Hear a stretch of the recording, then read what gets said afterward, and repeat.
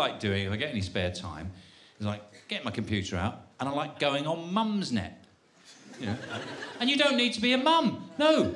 All you need is an email address, username. Well, hey, you're one of the mums. I didn't start off trying to talk to my mums now. I tried talking to them in the park.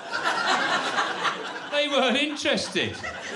And there's a group of them gathered by the swings. I went over for a chat. They just scattered. You know when you lift a rock up and all the woodlice off in different directions? it was a bit like that.